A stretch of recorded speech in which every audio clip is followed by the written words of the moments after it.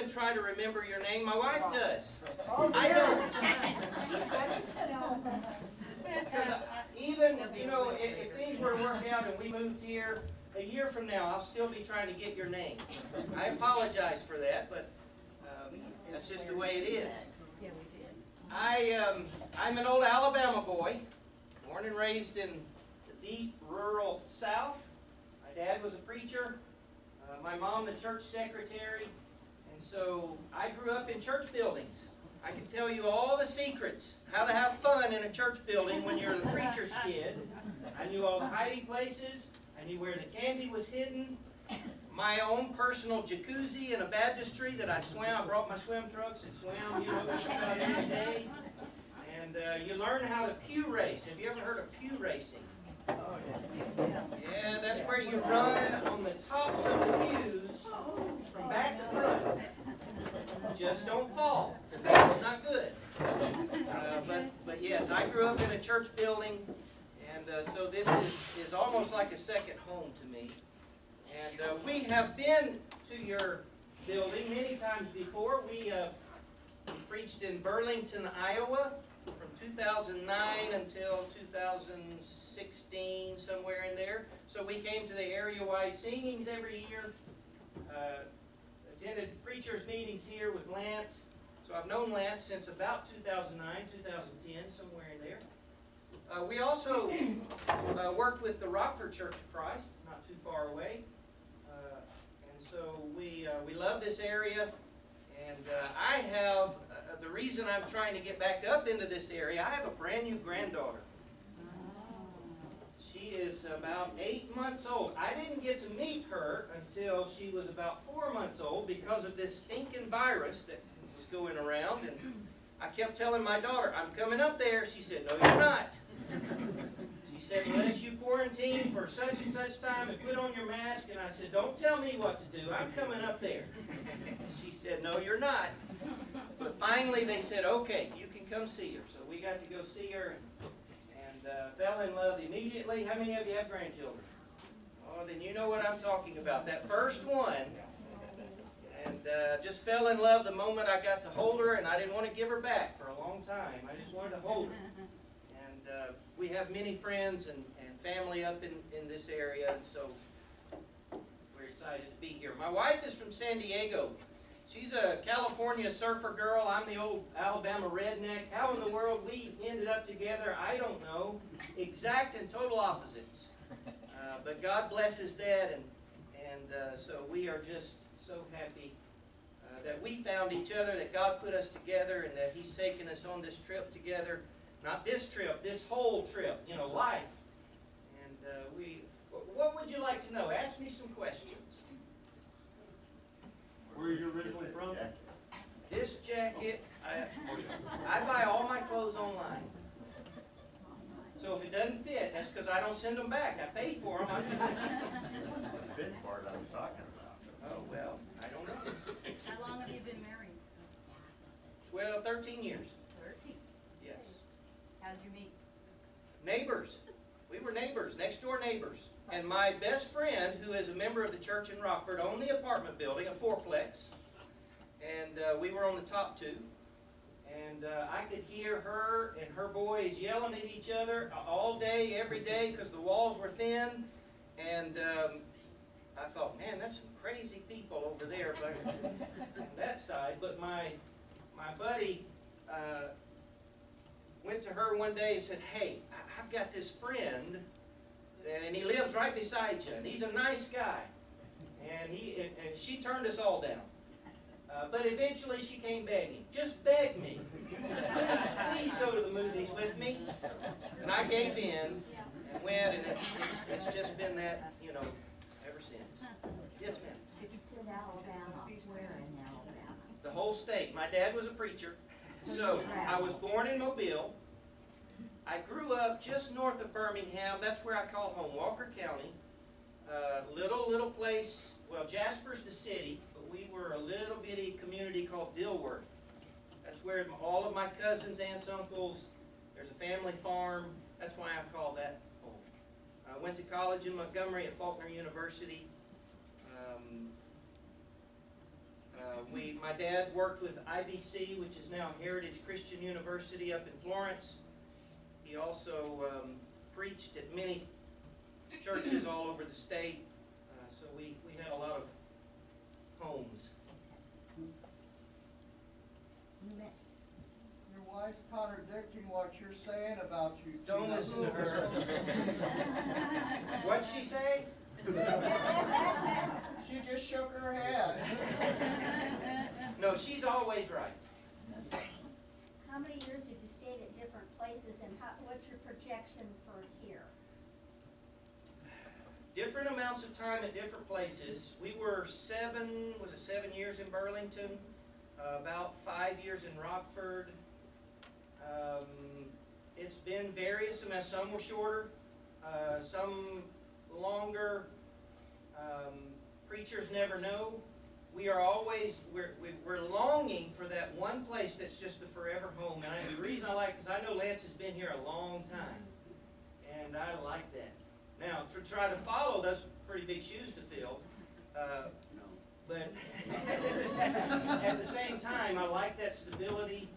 Uh, we don't like moving. We really don't. Um, We also have, our children, we're empty nesters, except her mom lives with us.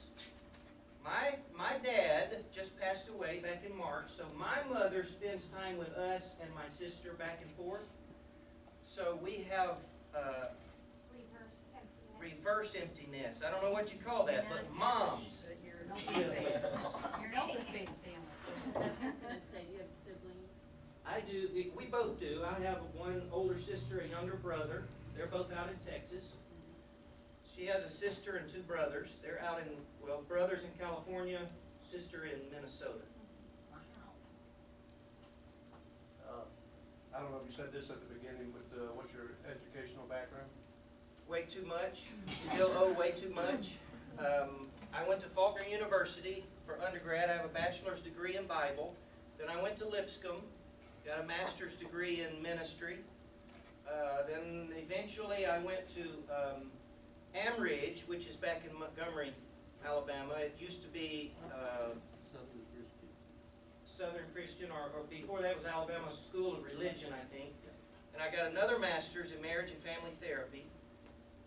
Then I went to Newburgh Seminary and got a doctor of ministry. And then I went, uh, worked on a clinical uh, psychology uh, education, and so way too much.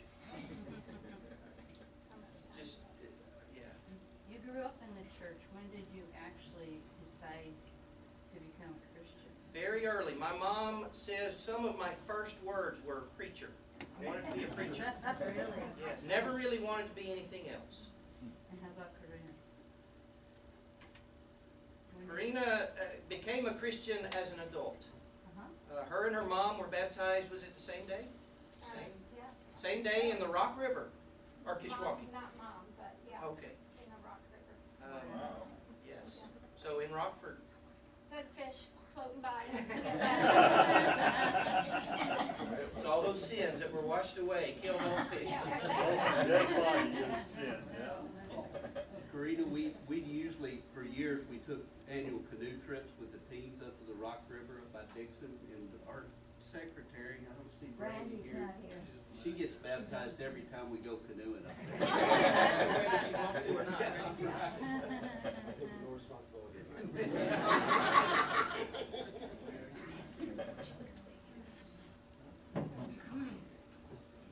Uh, well, my wife was just wondering, uh, do you have children? How many children? We have two each. Uh, she has two boys. We were, we were married, and then we got divorced, and just for those that were not us, we were married to other people. Uh, Even by the most conservative standards, they were what you would call a scriptural divorce. Uh, I was a single custodial parent for about a decade. Um, How long were you single? Not long. Years. Couple years. And uh, she has two boys, uh, one in California, one in Galesburg, not too far from here. He just graduated high school. Uh, I have a son and a daughter. My son's in Jacksonville, Florida.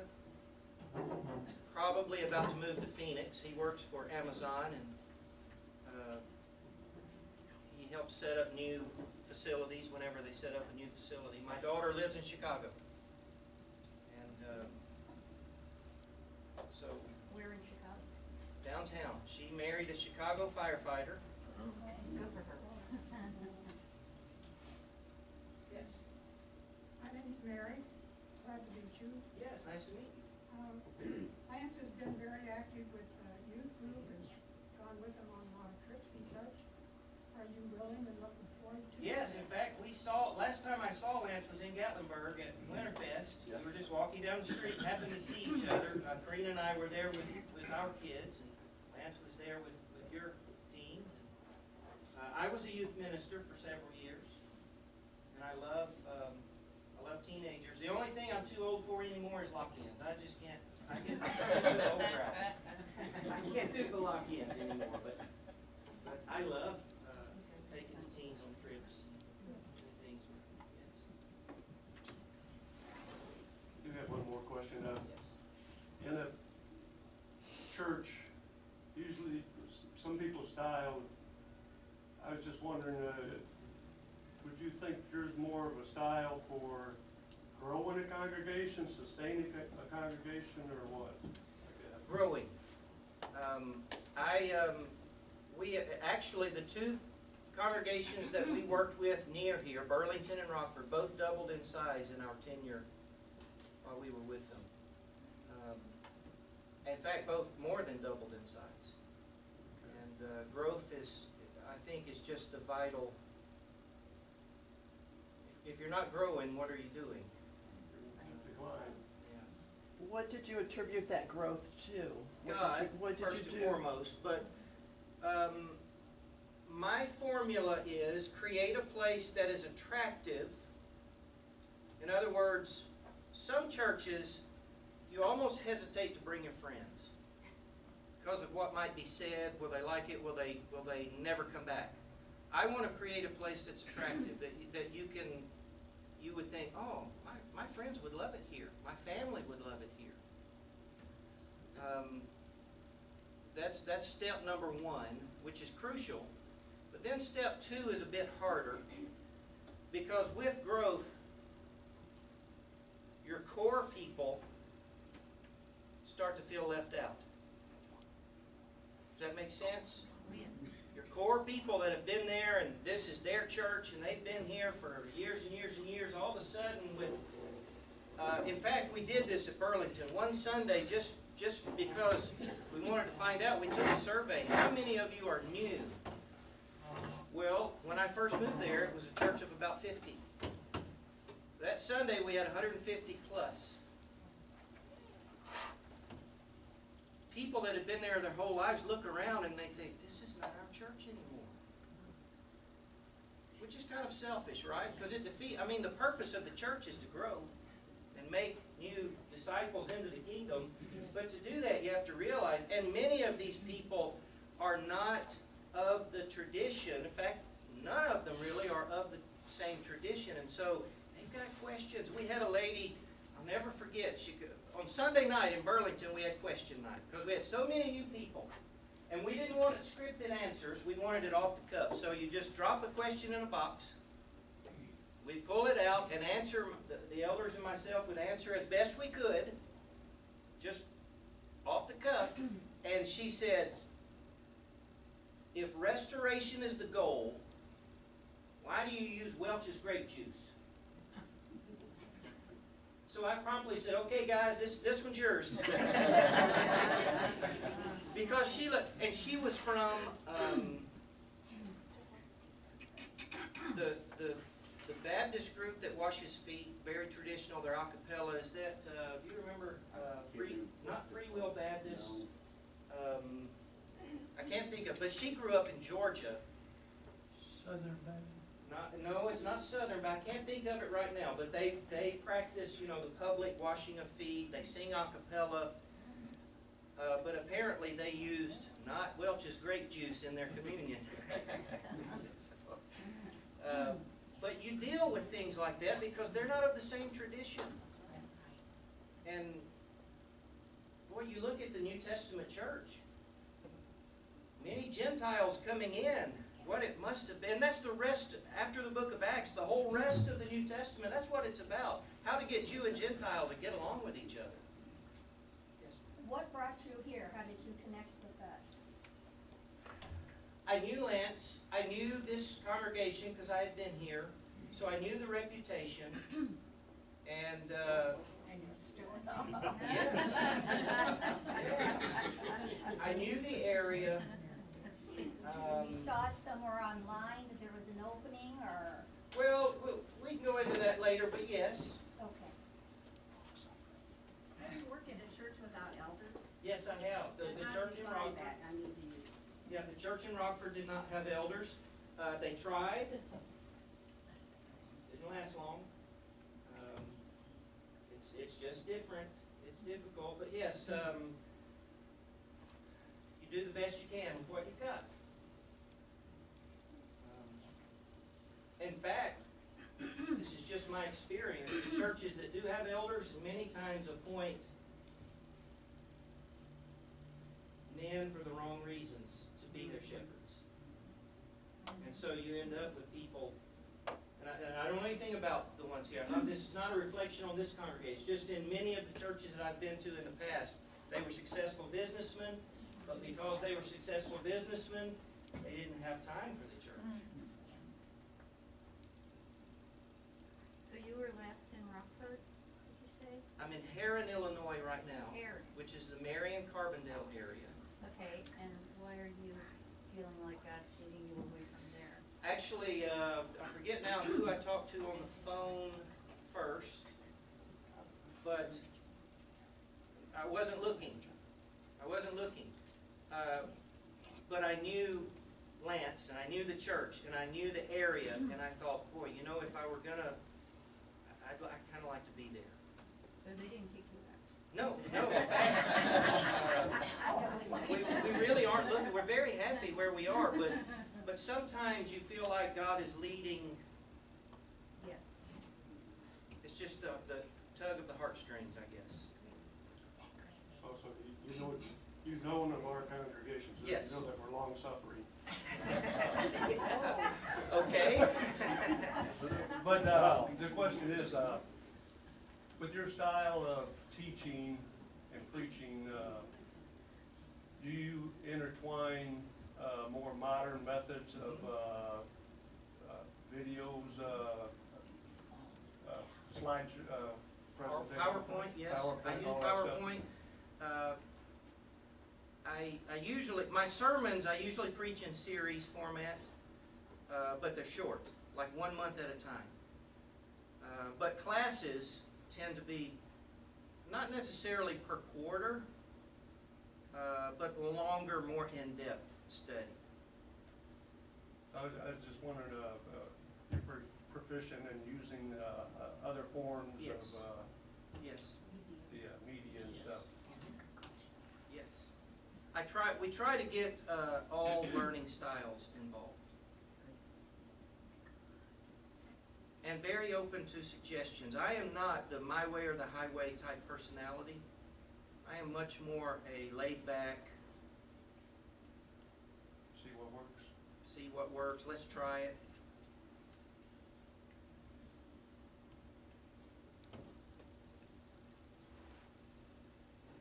This is one of those lovely questions that the wives like, is your wife involved? Yes, she is uh, very involved in my ministry, more so as a support to me than anything. Uh, She does have a job. She works out, outside the home, from the home, that makes sense. Her home office is in St. Louis, Missouri, but she has to go there once a quarter for two or three days. Uh, Other than that, she works from home. We have an office set up. As long as she has an internet connection, she's, she's good to go. She manages hotels, or actually, she does the benefits for people who work at hotels all over the country, but mostly in St. Louis. Uh, Midas Hospitality is the company that she works for. She's been with them almost since the beginning, not quite the beginning, but almost. And um, uh, she's my sugar mama, she makes more money than me, and I tell her all the time, I'm ready to retire and play golf. She says, okay. But, but she does, um, uh, she's not necessarily, for example, a class teacher, uh, but she is a people person. She, she's, uh, very much a people person and very encouraging.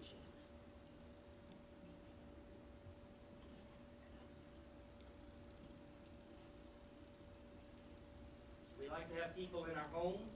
We like to, she likes to feed. Be careful.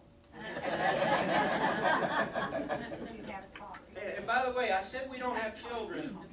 We do. We have three little vermin. I call them, they're dogs. And I have one, she has two. And they're old.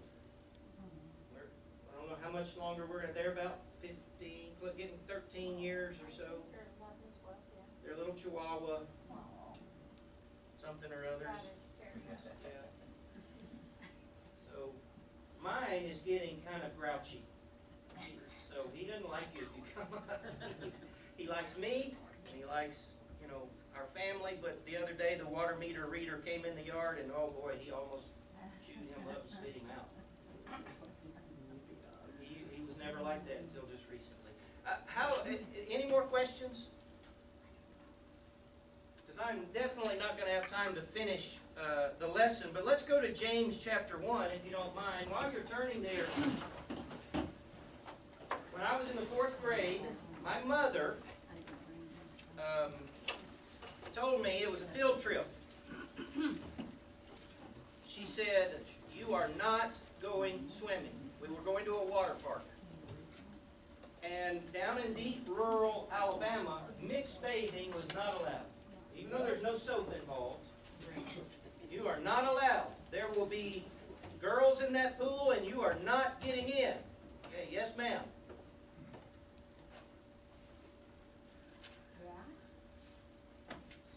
I had my swimsuit on under my jeans.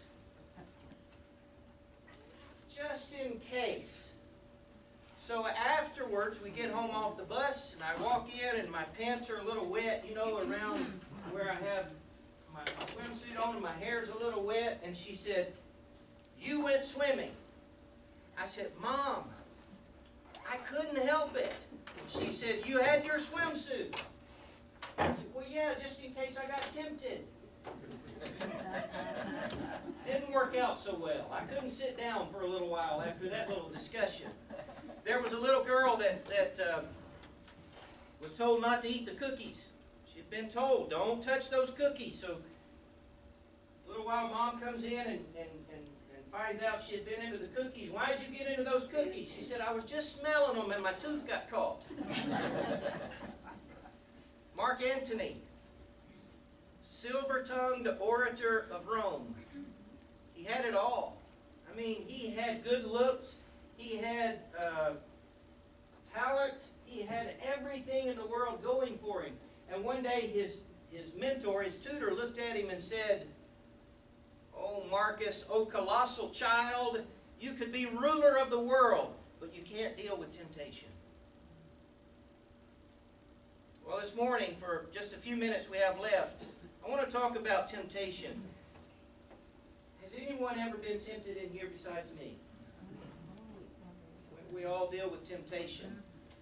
I have about four facts for temptation I want you to write down. But, but first, give me a definition of temptation. Your definition. Ice cream. Ice cream.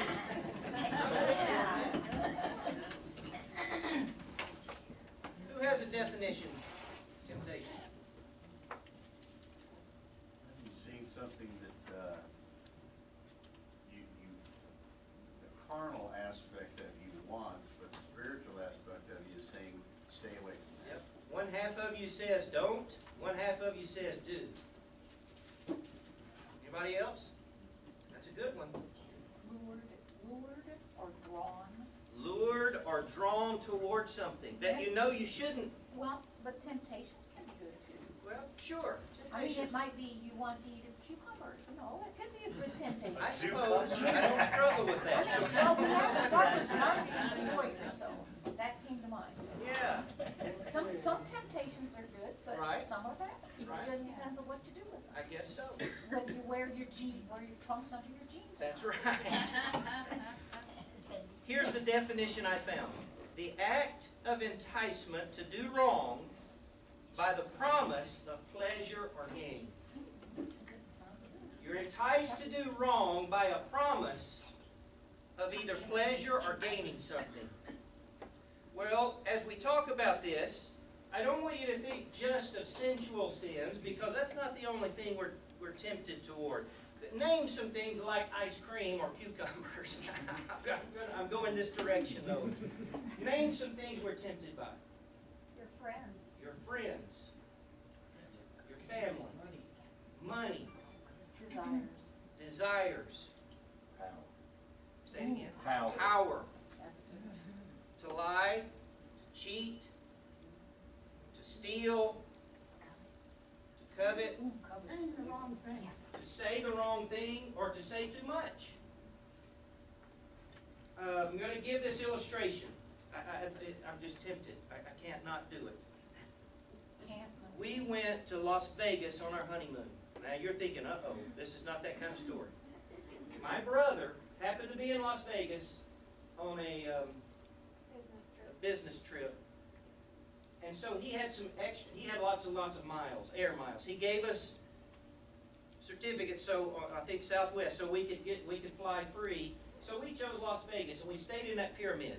You ever been there? I don't know what it's called, but anyway, we, Luxor, yes, we stayed there. But my brother said, I'm not gonna bug you on your honeymoon, but I wanna take you out to eat.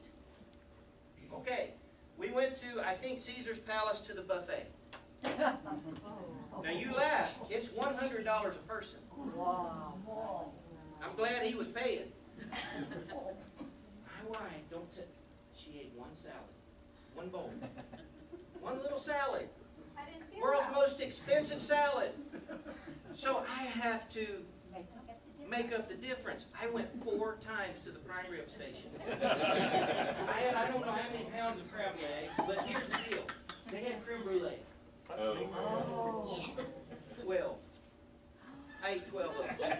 Oh. Twelve creme brulees. Now they're little, okay? They're little. And I'm, I'm trying to tempt her. I'm trying, just try it. It's just sugar, but better. You ever had creme brulee? Oh, yeah. Oh my goodness, twelve of them. Now, I couldn't walk out of there. She had to carry me out of this buffet. But the temptation for me, I was rationalizing, she didn't eat. So I've got to. Now, what was my sin? Probably gluttony, Yeah. stupidity. Oh my, I mean, it, it was just unreal. But so many different things tempt us. So I want you to write these four things down. Number one, and we're in James chapter 1, beginning with verse 13. Core facts about temptation. Number one, temptation is inevitable.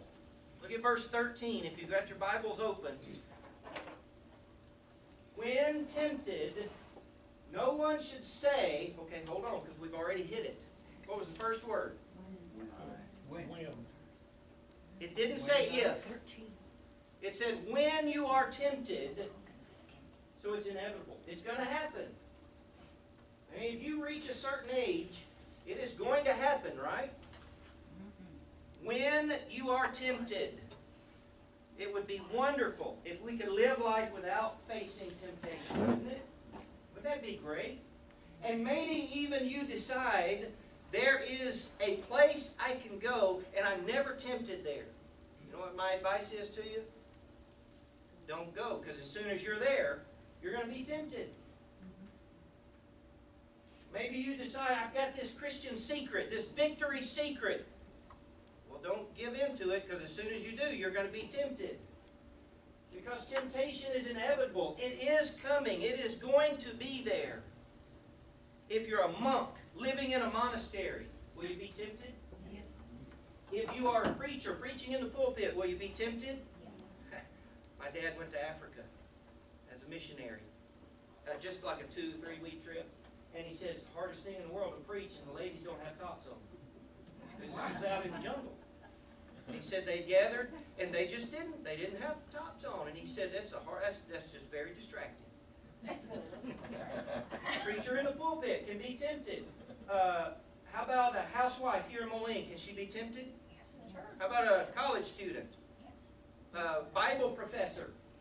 It doesn't matter who you are, you will be tempted at some point in time, and, and, and understand, James has just talked about trials. Remember that passage? Consider it all joy when you face various trials. It's no accident he's talking about temptation after he talks about trials. Because because Satan knows that's when you're weakest. That's probably, is a pandemic a trial? Anybody face temptations after or during the pandemic? I just read thirty percent of churches are closing because of the pandemic. Thirty percent.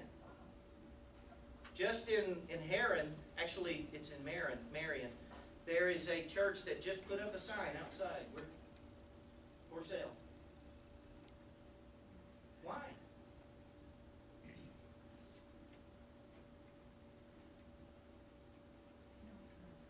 Is it just like a restaurant? You didn't get enough business? It's probably a lot of things. But Satan knows what he's doing. And if he can close up some churches, he's going to do it. And it's happening all over. Think of the Israelites wandering around in the desert. Were they tempted? Yes, they were. Did they just go through some trials? Absolutely.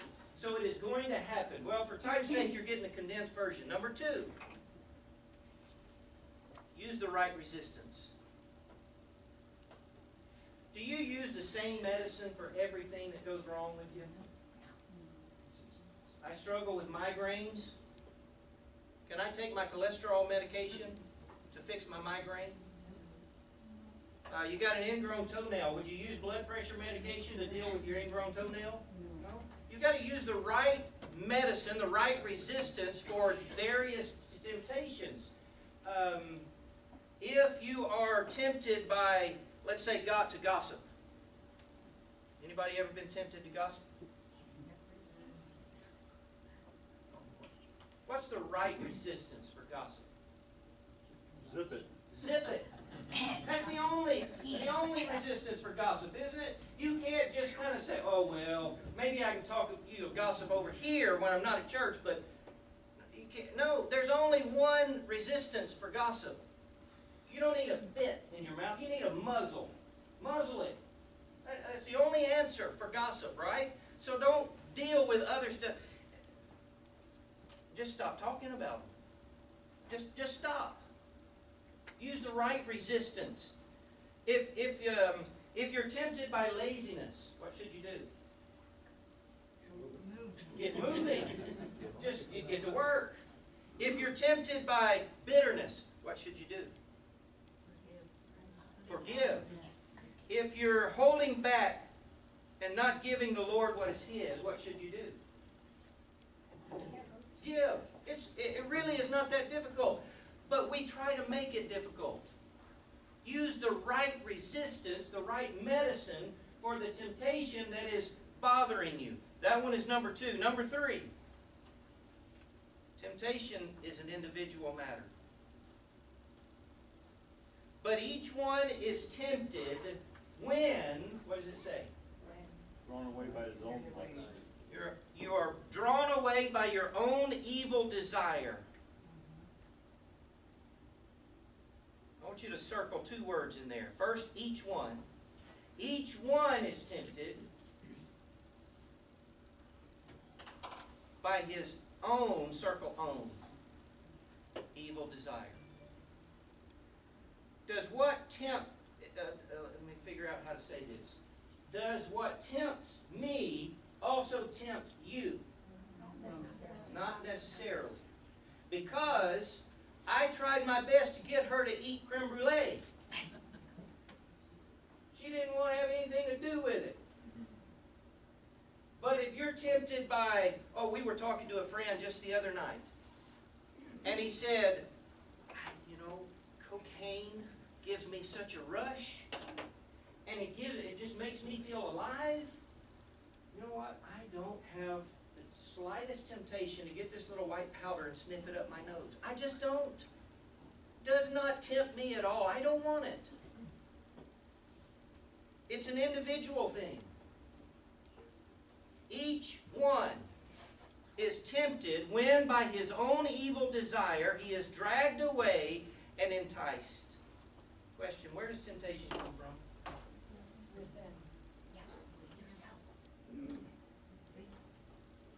I- Did I hear the devil? Yes. That's a good answer, but I'm not sure it's exactly right. Within. Within. Each one is tempted when by his own evil desire comes from inside you. We might expect James to say it comes from Satan. It's not what he says. He says the source of temptation is your own evil desire. He puts the blame squarely on us as individuals. Satan knows what he's doing. Yes, he does. And I'm convinced he has a role to play. But the point is, I can't say the devil made me do it. Right? I can't say that. He didn't make me do it. It came from inside me. I made a choice. I made a choice. I was tempted, I saw it, and I made a choice to bite that bait. It's a fishing, modern day fishing. I'm not sure they use, you know, hooks and all. They probably use more nets instead of one. They weren't satisfied with one. They wanted a whole bunch. We send out, you know, the single hook. When, when we choose to yield to temptation, we're going to talk about the process in just a moment, time permitting. I only have about five minutes left. But nothing outside ourselves is strong enough to make us sin. Not even Satan. Nothing is that strong. You sin because of what's going on inside of you, inside your heart, inside your mind, your thought process. Number four. Temptation follows the same pattern. And he tells us what the pattern is. Verse 14 begins the process, verse 15 carries it out. Step one, the bait is dropped.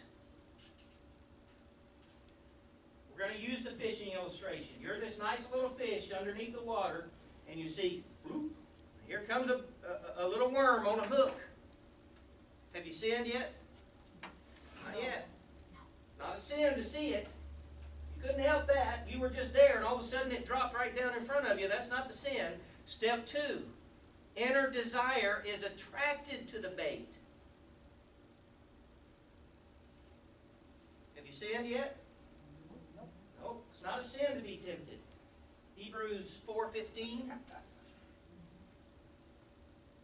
Yes, Hebrews 4 and verse 15. It's not a sin to be tempted. I haven't sinned yet. I saw I was just kind of minding my own business.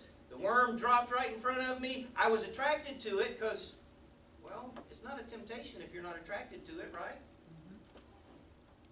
When does it become a sin? When you act on it. When you take the bait. When you choose, deep down inside, I have just made a conscious choice. I'm kind of hungry. I think I'll have another creme brulee. No, that's not right, because I wasn't even hungry at that point. I was just gluttonous. Step three, sin occurs when you bite the bait. And step four, tragic consequences. Where did that fish end up? Dead. Inside a frying pan. That's where it ended up. Each one is tempted when by his own evil desire he is dragged away and enticed. Then, after desire has conceived, it gives birth to sin. And sin, when it is full grown, gives birth to death.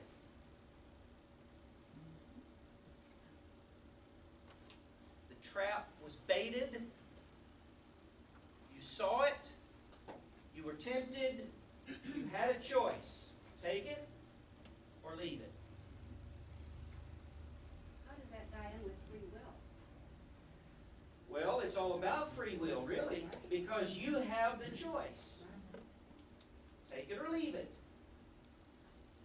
It's a conscious decision. Now, it may happen super fast, but it was still a conscious decision.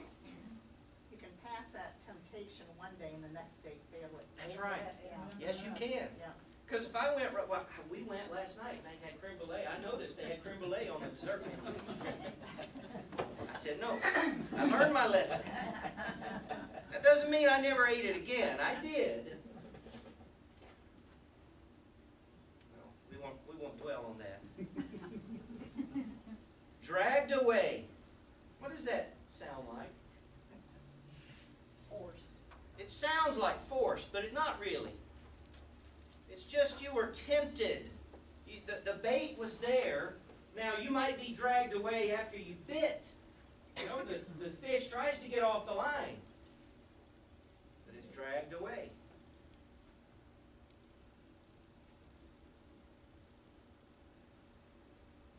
It's exactly the way temptation works with us. It's dropped. It looks good to us. It appeals to us. We have interest in it because Satan knows what he's doing. And we have a choice bite or not to bite. That is the question. I want you to go to Genesis 39. Let's look at a classic example. You know it well. Genesis 39, Joseph in Potiphar's house. First 12 verses. I'm going to read the first eight verses. Genesis 39. Time is just about up, so bear with me here. Joseph had been brought down to Egypt, and Potiphar, an officer of Pharaoh, the captain of the guard, an Egyptian, had bought him from the Ishmaelites who had brought him down there. The Lord was with Joseph, and he became a successful man, and he was in the house of his Egyptian master. His master saw that the Lord was with him, and that the Lord caused all that he did to succeed in his hands. So Joseph found favor in his sight and attended him, and he made him overseer of his house and put him in charge of all that he had. From the time that he made him overseer in his house and over all that he had, the Lord blessed the Egyptian's house for Joseph's sake. The blessing of the Lord was on all that he had in house and field. So he left all that he had in Joseph's charge. And because of him, he had no concern about anything but the food he ate. Now Joseph was handsome in form and appearance. And after a time, his master's wife cast her eyes on Joseph and said, Lie with me. But he refused and said to his master's wife, Behold, because of me, my master has no concern about anything in the house, and he's put everything that he has in my charge. He hasn't sinned yet, right? Hasn't done anything wrong. In fact, everything he's done is, is good and well and right, and God is blessing him tremendously. It even says he was handsome in appearance and form. Now, Mrs. Potiphar noticed him. And there's nothing subtle about Mrs. Potiphar. The bait is dropped. We read this and it makes it sound like, no big deal. But we know better, don't we? The bait dropped. It is of interest. If it weren't of interest, it wouldn't be a temptation. It's not like Satan messed up, didn't know his job. Satan knew his job well. But Joseph made a better choice, the right choice. Saw it and he chose, I'm not biting. I don't want that bait. It looks good. I kind of want it. Half of me wants it. But the other half knows better. Someone trust me. I don't want to mess that up. I want to ruin that. So he made a better choice. I'm going to close with this story. When I was in high school, had a guy that was a religious fanatic. And it wasn't me. And that's not to my glory, that's to my shame. We had a, a friend of mine, he was a religious fanatic, didn't go to our church, he went to another church. We were on a, uh, uh, boy, it seems like all my stories end up in field trips, because that's the only thing I remember about school. But we were, we were on a band trip. I was in a band. The girls were gonna play a, a, a mean trick on this kid, because he was a religious fanatic, knew it. He carried his Bible everywhere, he talked about church, he invited you to church. He- was the kind of guy, he would say, I don't have any money today, will you loan me a dollar? I'll bring you two tomorrow. And he would. The girls invited him into their room, some of them, and one of them was just getting out of the shower, and they said, well, I'm gonna, we're just gonna flash him and see what happens. Had a towel wrapped around her, she opened it up. You know what he did? Exactly what Joseph did. He turned and ran. Now that became, he became the laughing stock of the school, basically. But he made the right choice. Now, did he get his reward right then and there? Well, sort of, kind of, but not, I mean, he, at school, people laughed at him for days, weeks, months, years, I don't was our senior year, so it eventually ended, but he got his reward, I'm convinced. Now, I haven't kept up with him, so I don't know what happened to him in life. But I, he, he, he taught me a lesson I will never forget. Because if I were in that situation, I'm not sure what I would have done. Now, everybody knew me as the preacher's kid, and everybody knew I was going to be a preacher. I didn't hide it. But I didn't carry my Bible everywhere. And I wasn't always talking about the Bible and inviting people to church. I tried to be a normal, quote, normal kid. He taught me a lesson. There's, there's a way you treat temptation. You don't tolerate it, counteract it. Any final thoughts?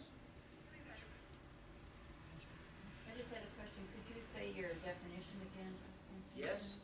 The, let me find it.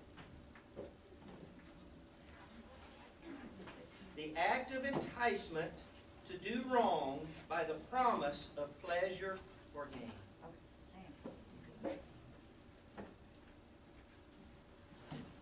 Thank you for coming to class. Thank you for inviting us. We have enjoyed it so far. We look forward to worshiping with you in just a few moments.